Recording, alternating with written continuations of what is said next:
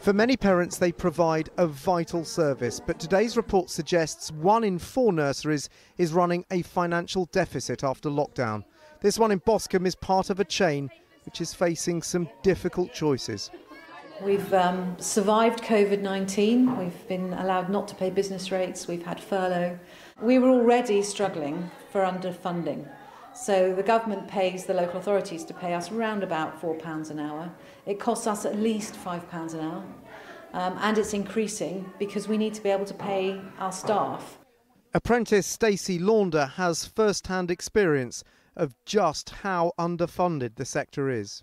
So I only get £6.70 an hour um, being apprenticed. Um, so that's really not a lot for myself being a mum either.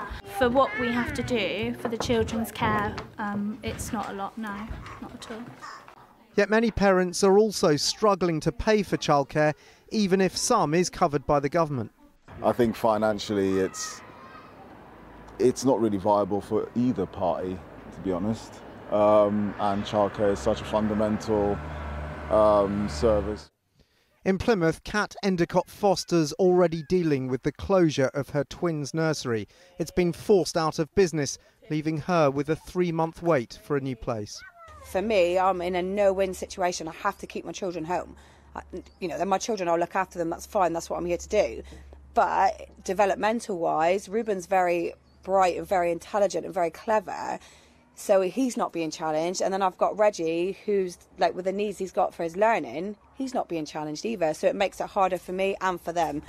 Nurseries like this operate on wafer thin margins at the best of times, but the pandemic has pushed them to the edge of what is financially viable, and it's going to mean that many will be facing a very bleak future over coming months.